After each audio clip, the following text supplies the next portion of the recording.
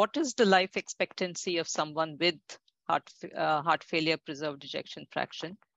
Um, and you know uh, assuming that they're managing it well. Yeah. Uh, patients of heart failure with preserved ejection fraction now live for long time. And in fact there is an entity which the 2022 european and the american guidelines have now entered.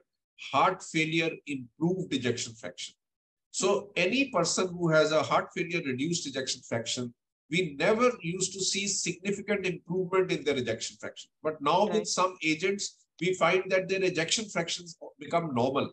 And one of the most risky thing is if someone has a normal ejection fraction on drugs, once they stop their drugs, their ejection fractions come down again. Right. So this particular entity, besides the ones that we have discussed till now, Heart failure improved ejection fraction is a definitive entity now.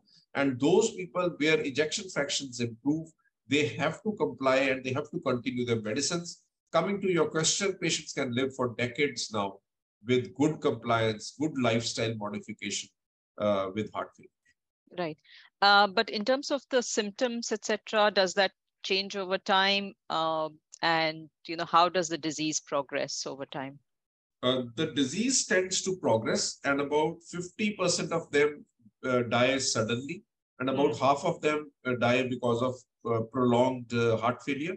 And for that sudden death issue, now we have devices like ICDs and all which can give shock to these people. So the physicians or the cardiologists who are managing these people, they would know best. Right. But the longevity of life with the quadruple therapy that we have today, Right. I was reading one paper actually uh, a couple of months back.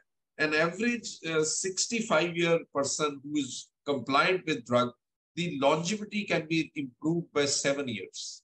Right. So, so uh, the longevity of life of patients with heart failure has remarkably improved in the last uh, couple of years. Excellent.